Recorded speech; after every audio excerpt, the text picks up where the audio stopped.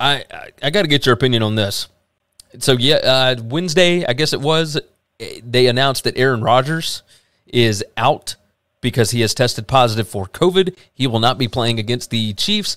And of course, that line went from a pick to an eight point favorite Kansas City Chiefs. There's an NFL investigation into the protocols at Green Bay right now. Uh, give me give me some thoughts here. I'm not sure exactly what to think of what's happening with uh, with the Packers. Well, I mean, there's nothing happening with the Packers I know of. Rodgers got COVID. Rodgers isn't vaccinated, and so he's automatically out for 10 days no matter what. If he was vaccinated, everyone says, well, there's time. If you were vaccinated, then you can get two negatives and still play. I don't know that he would have played. We've seen too many other guys get COVID that have been vaccinated. The vaccine doesn't stop you from testing positive for COVID. It's not magic. And, and so it doesn't help you heal or, not, or test negative faster or sooner than, than you normally would. So, you know, he would have to get two negative tests between basically Thursday and Sunday. And I don't know that you're going to get that. Maybe, maybe you could. I'm not a doctor. I don't understand all shit. But the, the biggest issue is the manipulation of Rodgers is the lying.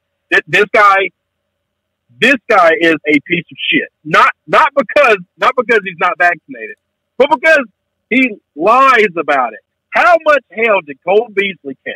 How much hell did Kirk Cousins catch and, and, and, and Carson Wentz catch and Dak Prescott and, and, and Lamar Jackson? How much hell did those guys catch in the offseason for, for admitting they're uncomfortable with the vaccine, they don't want to take it? And Rodgers just lied.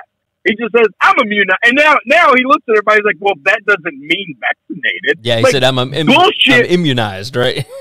yeah. You know what you're doing when you say that. You openly lied to everybody, and you know why he did it?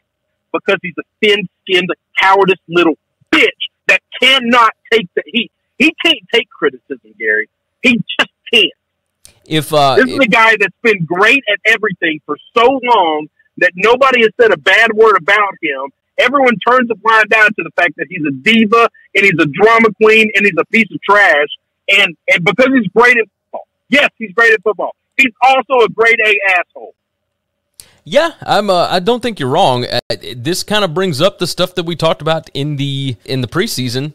You know about whether or not he would even report to the team. Would he retire? He didn't want to play for the Packers anyway. You know, blah blah blah blah. I, I'm curious if we are getting to a point if they force him to become vaccinated. If this becomes a a whole thing, do, do we get to retirement for him? Does he care enough? to to deal with this? You got uh, I think he does. I mean, he's made it through the season. What What's going to be alarming is I mean, because a outside of the Saints game that they just no one can explain. It's week one. They looked unbelievable. Like like last week, they looked pretty beatable and they didn't look great, but they got the win. Like they're they're they're undefeated outside of that week one season game. I, I just you know I, I wouldn't walk away from that if I was him at some point in time, you just got to buckle up Buttercup and, and, and, and learn how to take the fire. I don't know how you teach somebody that if they're just not going to be that guy, but he, has been in the league for a long time and he has been given the softest questions you could possibly make. He's never been challenged on any really. Everyone loves him. And, and it's just one of those things where he's never found the ire of the media. And, and now he's going to have to figure out how to handle that.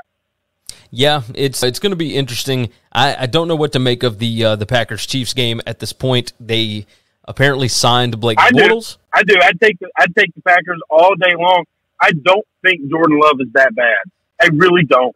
So is is it going to be Love or is it going to be Bortles that comes in? Why would it not be Love? Uh, has he not been dealing with uh, with an injury of some sort? Hell, I don't know. I don't. I don't follow their two deep and three deep quarterback at Green Bay. Jesus. You know what? I'm looking it up right now. If it's Blake Bortles, I'll take that back. But if it's Love, I'll take those points. So I know that they signed Bortles, um, but I don't know that they anticipate him necessarily. You know, I, well, every team has to have three quarterbacks in the world of COVID, even if you're vaccinated or not. Yeah. Uh, okay, so it, you it can't be... take a chance of going in. I, I, I, I, never even considered my brain that that Love wouldn't be the starter. It, it looks like uh, they've got Love as second string. There were a lot of reports that they were going to sign Blake Bortles to have him start the game, but we'll we'll see. I mean, I, I have no idea what to make of this anymore. So I, I will I will not be betting it for sure. When it was a pick 'em, I was all over it. But when I started hearing rumblings about you know Aaron Rodgers, I said, mm, hold on, we, we, we might want to wait on this one.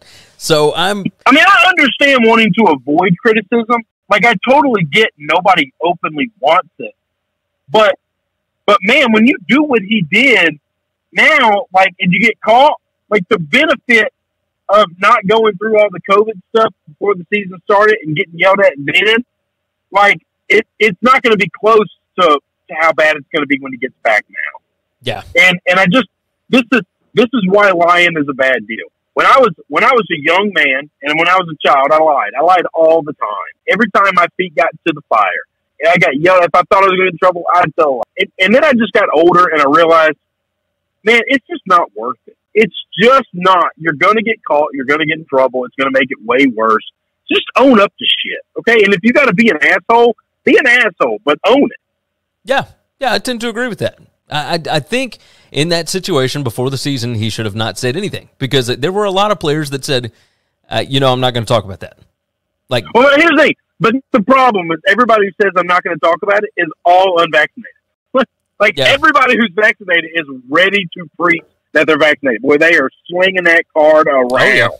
No, you, you're right. So, so you know the reason he didn't want to do that is because he knew if he said I don't want to talk about this or it's none of your business or something of whatever. He, however he handled it, everyone instantly knows you're not vaccinated. Yeah, yeah, it just becomes a, weird issue. You're like, uh, there's not.